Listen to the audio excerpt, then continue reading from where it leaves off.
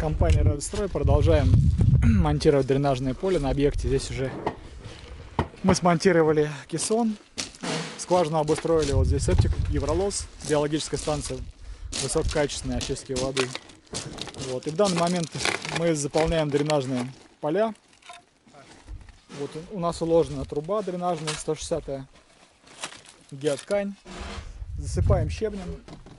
Вот. И под уклончиком отмеренным все это будет стекать вот в нижний угол участка. Как мы видим, уклон идет в сторону леса, э, вверх.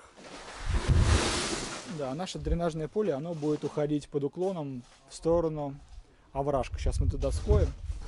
Ну, здесь достаточно простая система. Э, до этого здесь мы показывали, стояла вода практически с уровня земли. Сейчас вода уже идет э, в щебне, она стекает вот в нижний угол участка. Здесь мы ставим на углах дренажные колодцы, в которых э, будет переливаться вода.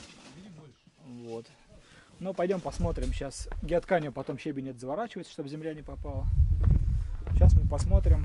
Здесь у нас идет переход с дренажного поля в канализационную трубу 110 и труба под уклоном идет уже во враг. Сейчас мы посмотрим, как работает дренажная система. Воды уже на участке нет. Здесь мы оставили небольшую горочку, когда копали, чтобы земля оседала со временем. Вот.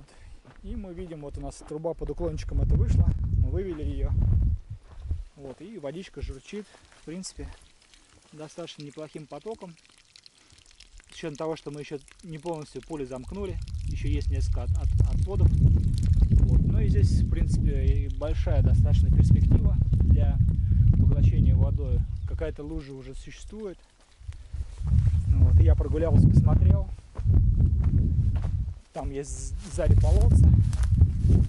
Вот, то есть воды можно достаточно много сюда слить, поэтому проблем с водоотведением участка быть не должно.